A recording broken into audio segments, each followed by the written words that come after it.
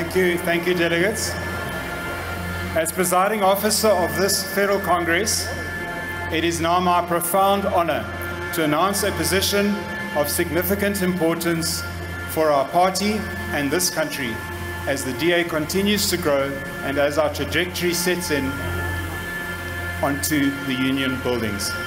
This person will lead us into the all-important 2024 national elections. The federal leader of the Democratic Alliance is, envelope please.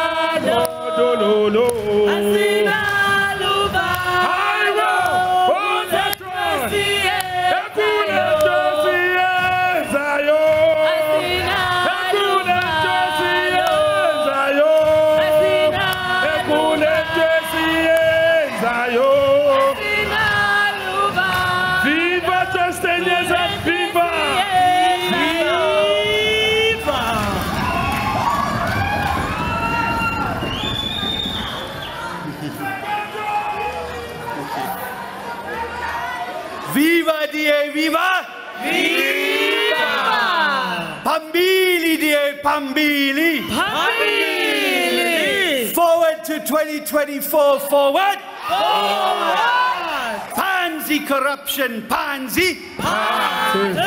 Pansy ANC, pansy! Pansy! Forward to the future, forward! Forward! Democrats, friends, and to fellow South Africans watching at home, wherever you may be. I am humbled to stand before all of you today to answer the call that you have made during this historic Congress. And my answer to you is a resounding yes. Yes, I will work with each and every one of you to lead the DA into the national government in 2024. But firstly, I want to thank all of those who contested positions in this Congress. We have elections in the DA that are run well, that don't end up with victors and vanquished, and always end up in the best interests of the DA. So, to our opponents and all of the races, to all of those who may not get elected, let's work together to build this party and build a better future. I want to thank every DA delegate, every DA public representative, activist, member, and supporter who has placed your trust in me to lead you as your federal leader for a second term. And I pledge to devote every fiber of my being to our shared destiny of boldly taking the DA into the future. In this quest, I will be joined by the rest of the DA's national leadership team that you have elected this weekend. To our federal chairman, deputy chairs, federal council chairwoman, and to her deputies, congratulations.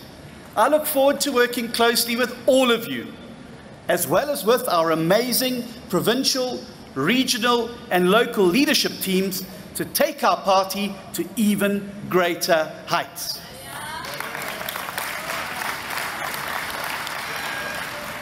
I also want to take a moment to acknowledge the people who often make the greatest sacrifices in the DA's quest to save South Africa.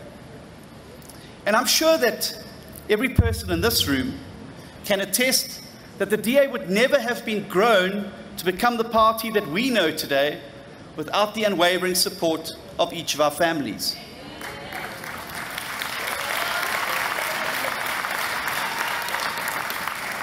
To my family, my wife Terri, and my three beautiful daughters, Ashley, Caroline, and Olivia, thank you for supporting me and uplifting me along every step of this journey.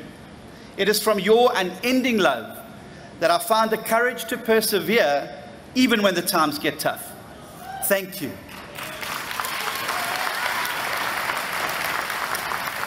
Democrats, throughout this campaign, I've told you that 2024 is going to be about the DA's moonshot election. Now, while the term moonshot originally meant a long shot, it is increasingly being used to describe a monumental effort and a lofty goal. In other words, a giant leap forward. A leap like ensuring that the DA leads the national government in 2024. And like the original mission to take humans to the moon, we take this shot to defeat the ANC and to keep the EFF out, not because it is easy, but because it is hard.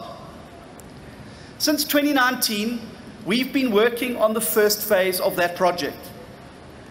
This phase was all about stabilizing and fixing the DA so that we could get back to winning ways on our way to taking our moonshot. It was about rebuilding internal cohesion. It was about discipline, systems, and policy. And as we look back to 2019 today, I can confidently say that this phase was a success.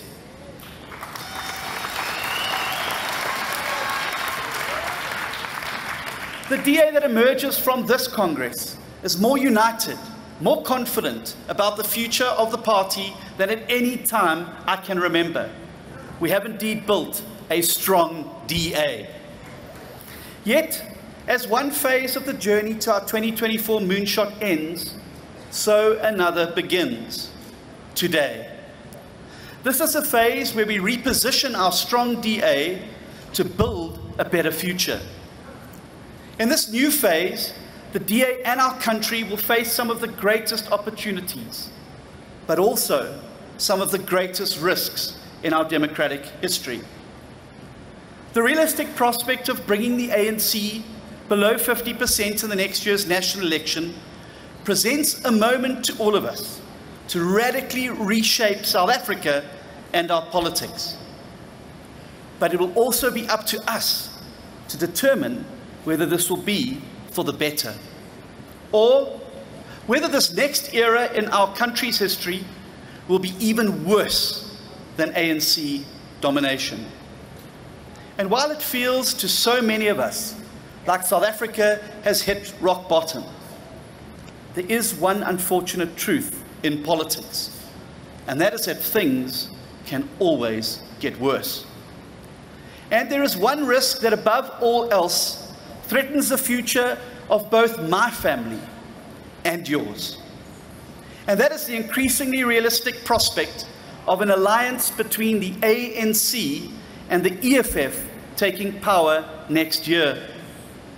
Given the fact that the ANC now officially co governs with the EFF in parts of Gauteng, we need to start taking the threat of these parties ganging up to destroy our country in 2024 very, very seriously. And I want to be unequivocal about the DA's view on this. The day that an ANC EFF government takes over, it will be doomsday for South Africa.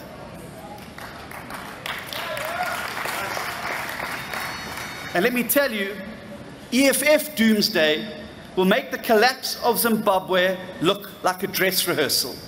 And it will leave all South Africans, black, colored, white, and Indian, completely destitute and abandoned. And that is why, during the remaining months before next year's election, the DA will also make it our number one priority and do absolutely everything in our power to prevent an ANC EFF doomsday coalition from taking power.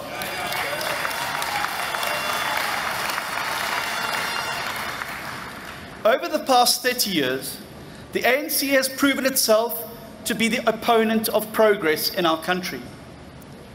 But make no mistake, the EFF is its enemy. The EFF Doomsday Coalition will expropriate property without compensation and abolish private property rights. The EFF Doomsday Coalition will nationalize and destroy foreign banks, investments, mines, and other investments in the country. The EFF Doomsday Coalition will plunge this country into ethnic and racial conflict, the likes of which has never been witnessed before. And the cold, hard truth is that the Doomsday Coalition between the ANC and the EFF has already taken over Johannesburg and Ekurhuleni with the help of its little proxies. Next year, it will be knocking on the doors of the union buildings, right next door from us in Pretoria. This fact should send a shiver down the spines of every patriot and every freedom loving person in this country. But fortunately, there is one and only one insurance policy against the ANC EFF Doomsday Coalition, and that is to vote for the Democratic Alliance.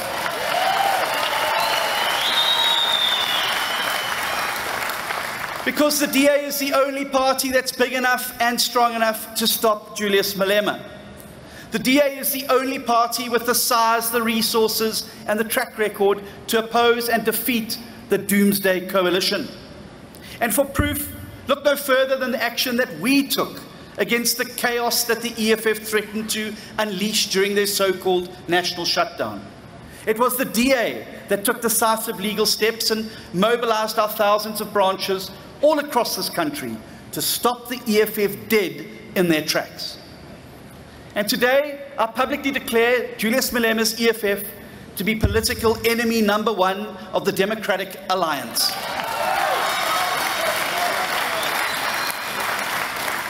And I commit the DA to fight back against the EFF at every turn, with the ultimate aim of defeating the Doomsday Coalition that could seal South Africa's fate next year. This is no longer about politics, Democrats. It's about the survival of democracy and the survival of South Africa. Throughout this period of leadership of this leadership campaign, I have reflected deeply upon the risk of the EFF coming to power and the demands that this places on the DA. I approach this question in my capacity as leader of the Democratic Alliance, carefully considering what we need to do to maximize our party support in next year's election. But I also approached it in another way, a way that is demanded of me by our country's constitution. In Clause 57, our Constitution recognizes, and I quote, the leader of the largest opposition party in Parliament as the leader of the opposition, unquote. Now, it's a clause that may not be known by many people, but it is one that has profound implications for our moonshot we are about to take to defeat the prospect of an ANC and EFF coalition. As the person duly elected to lead not only the DA, but to also serve as a constitutionally recognized leader of the opposition, I had to consider the way forward, not only for our party, but also for the broader opposition cause. And I have come to the conclusion, fellow Democrats and fellow citizens, that our party has arrived at our Clause 57 moment.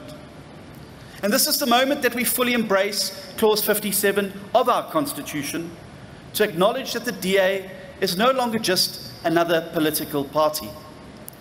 For the truth is that South Africans no longer expect the DA to be an opposition party only, let alone just one party among many. South Africans now expect us to step up and become the leader of the alternative government in South Africa.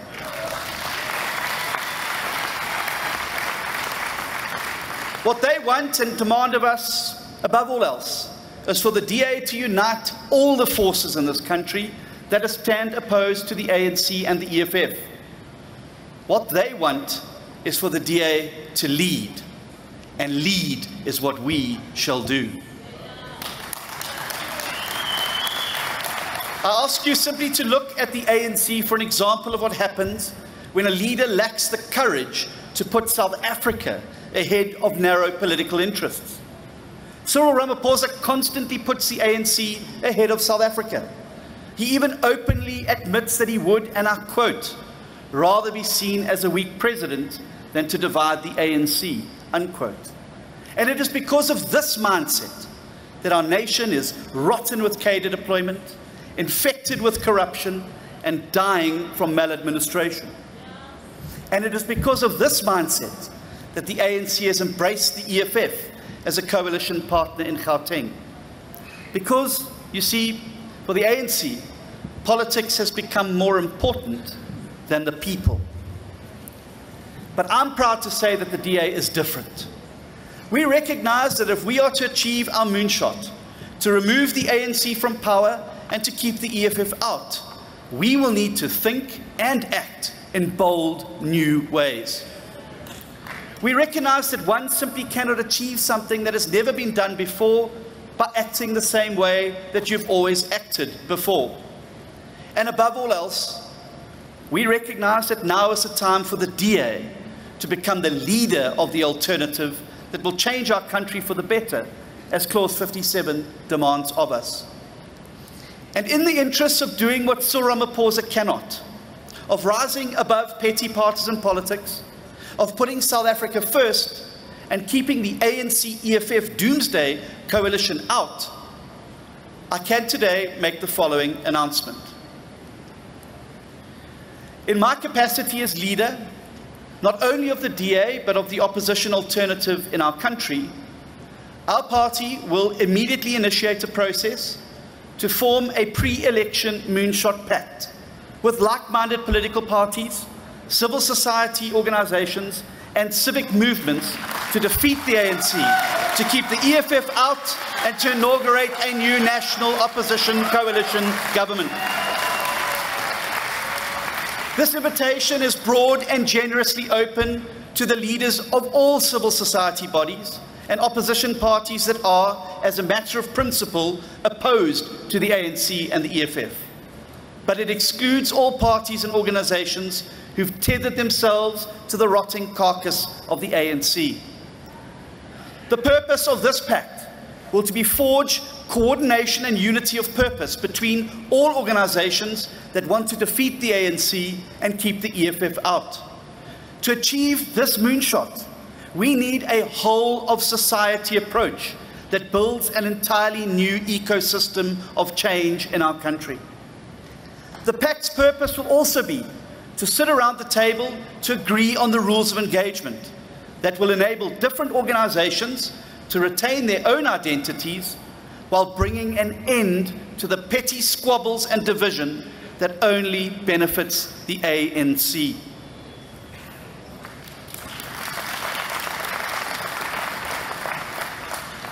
Democrats, it's not going to be enough to save South Africa if we just drag the ANC to just below 50%, as it will leave them with too many avenues to stay in power, including through a doomsday coalition with the EFF. But let me be clear it will also not be enough to form an impotent, unstable minority coalition at a national level. Our experience in places like Johannesburg and Ekurhuleni teaches us that minority coalitions that cannot reach 51% are inherently unstable. And the DA has no interest in destabilizing South Africa through an unworkable minority coalition. What this means is that this moonshot pact must work together to reach the mark of 51% so that we can defeat the ANC and its proxies and keep the EFF out. It is in pursuit of this goal that the DA takes the bold and unprecedented step to now lead a united opposition moonshot pact.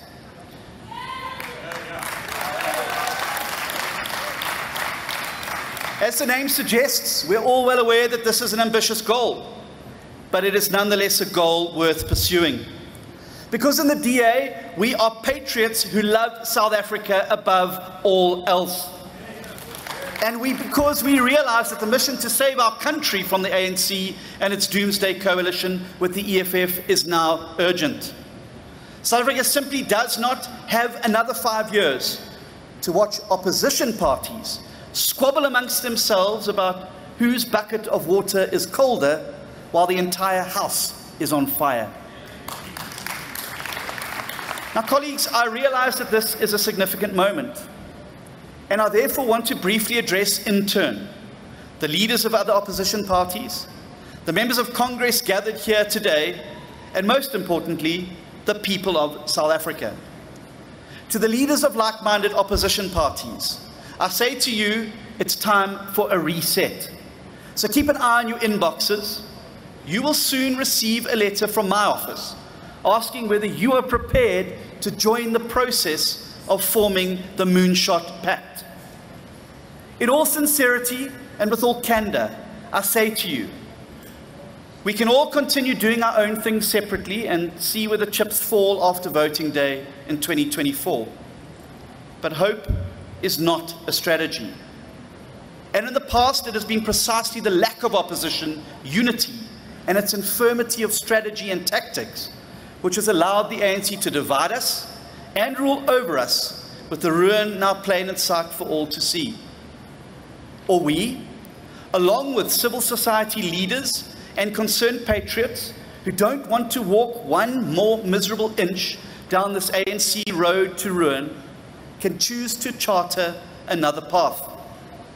So let's meet soon at a national convention for the Moonshot Pact, at a time and place where all historic enmity is left outside the door of the venue.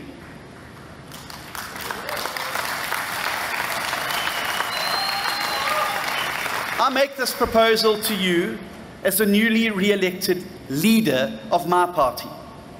If we're going to make this Moonshot Pact work, it must be an initiative that is actually led by the leaders of all partner parties. We have learned from hard experience that agents or entourages sometimes push agendas that are at odds with the vision of the leader. So this, form, this formation must be strictly a leaders-only initiative. Of course, a secretariat will be provided, but all of the negotiations and discussions must be handled by the party leaders themselves. There can be no more important job for any opposition leader in South Africa at this time than this mission of a moonshot pact. Let our meeting reach common cause on how we can answer the most difficult yet essential question of all. How can the opposition forces and their leaders ensure that the mightiest possible offer is placed before voters next year to change the face of our government and the fate of our country? And that surely is a question worth answering a challenge worth facing, and an alternative worth creating. Each party that signs up to our pact should be guided by one central question only. What are we doing to grow the non-EFF opposition vote from the 32% that pertained in 2019 to the 51% we need in 2024?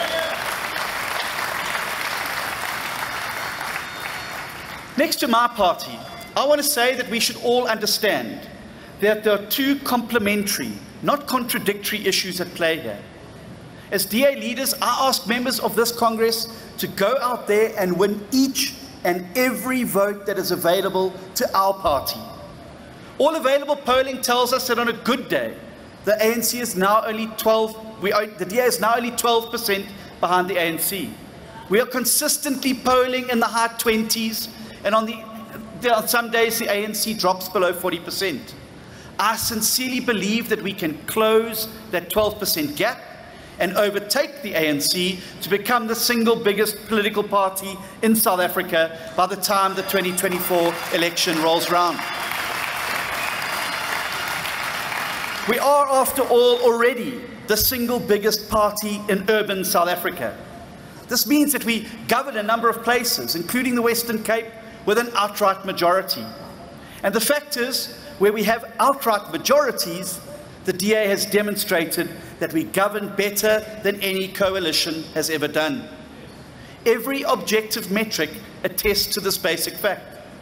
The Western Cape has by far the lowest unemployment in South Africa. It delivers better quality services to the poorest among us, including education and healthcare, than any other province. In the DA-led Western Cape, roads are free from potholes. Refuse is collected on time. Water is safe to drink and always available. And over 1,100 law enforcement officers have been deployed to fight violent crime because the National Police Service cannot. The Western Cape, as well as municipalities with outright DA majorities, like Cape Town, are also going to be the first places in this country that end load shedding for good. And Democrats, it's this message we must take to voters that voting DA is the best way to secure a better future for you and your family. Don't only tell them what the DA will do, show them what we are already doing. But most importantly, show them that the DA cares. Show them that the DA is the only party fighting to reduce the cost of living so that poor households can feed their families. Show them that the DA is leading the battle to end cadre deployment and the obscene abuse of the ministerial handbook. Show them that it is the DA that will protect their social grants by getting our country onto a sustainable economic path. Show them that only the DA is fighting to keep the EFF out. That way, voters don't only have to believe what we say, they only have to, through their own eyes, see that when people vote DA, and give us outright majorities, life gets better. So even as we move towards a national coalition government, we must absolutely retain our majority in the Western Cape and ensure that we win outright majorities wherever they are within reach, including in this province, Gauteng. But as the leader of the opposition, I also know that the DA needs coalitions. For the time being, if we want to take power at a national level, as we must. And the truth is that we can only become the biggest political party in this country if all other non EFF voters, including those who may not be DA voters, turn out on election day to drive down the ANC's percentage. Finally, I want to speak to the voters of South Africa. And I know that many of you remain skeptical of coalitions. And this is completely understandable given the way in which fragmentation and side switching by certain parties has undermined the stability of some of these governments. And it is precisely because we've learned some very hard lessons that the DA is now taking the lead to form a pre election moonshot pact. By getting different parties to make a public and transparent commitment to the pact and the values it will be built on, well in advance of next year's election, we hope to provide greater certainty to opposition voters than was the case before the 2021 election. It's also because we've learned from past experience that we've introduced legislative changes to make sure coalitions work better. But I do also want to point out that there are inspiring examples of successful cooperation between parties that I hope will then guide our Moonshot Pact. And the first comes from KwaZulu Natal, where a pact between the DA and the IFP has seen us collectively take more wards off the ANC than ever before. In some cases where it's made sense, the DA abstained from particular by elections and encouraged our voters to tactically vote for the IFP. In other cases where the opposite is the case, the IFP has done the same for us. And the result of this mature cooperation is that the DA and IFP together are systematically becoming bigger than the sum of our parts in KwaZulu Natal.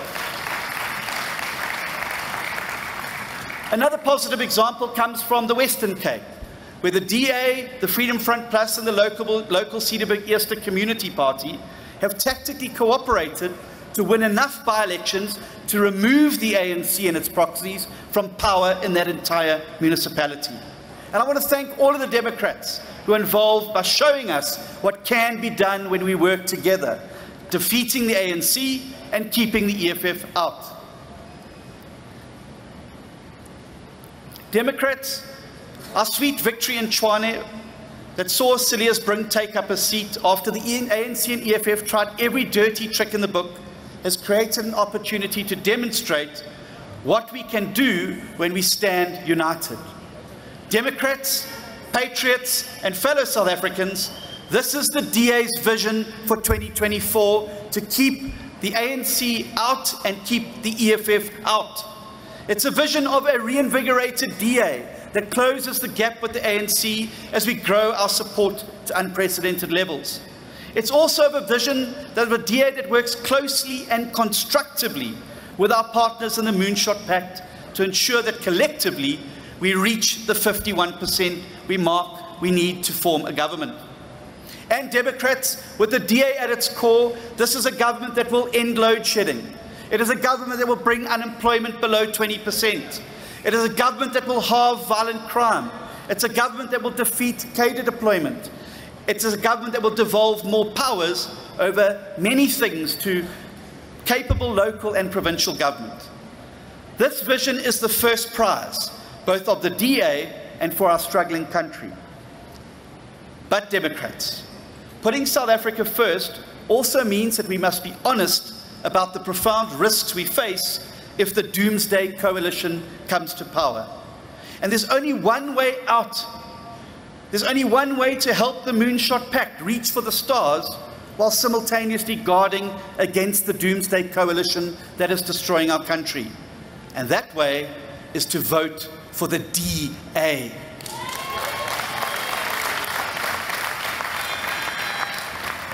In 2024, a vote for the DA is not only a vote for a strong and stable party to anchor the Moonshot Pact. It is simultaneously a vote to stop the EFF doomsday from engulfing us all. At this election, a vote for the DA will embody our shared hopes for the future while also guarding against our greatest fears. Fellow South Africans, our country has entered an era of profound uncertainty, and there simply are no guarantees. But this also means that the future is all to play for.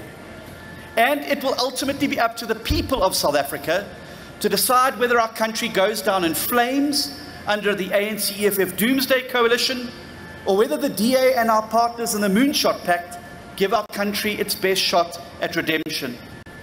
So, to the 14 million registered voters who did not turn up to vote in 2021, and to the millions more across the country are not registered at all, I say to you, your country's future is now in your hands. If you say you're not interested in politics, I say to you that politics will be very interested in you and all you hold dear if the EFF comes to power. So let's not wait until it's too late. Let's use our hard earned democracy to save our beloved country while we still can. So, if you're not registered to vote, please visit the IEC website today. It takes only a few minutes of your time to register and make sure that you can play your part next year to keep the EFF out and to give hope a chance. If you're already registered, I call on you to check your details are correct and to make sure that you and your family turn up on election day. In 2024, the people of South Africa need to vote DA like their lives depend on it. Democrats, we've built a stronger DA, and this Congress has shown us that. Now let's kickstart this blue machine to provide a better future for my family, for your family, and for every South African family. We don't have a moment to lose. It's time to get out there, to hit the ground running, and to save our beautiful country. South Africa is a wonderful place, and she's worth the fighting for. Let's get out there, Democrats, and make it happen. The road to 2024 starts here.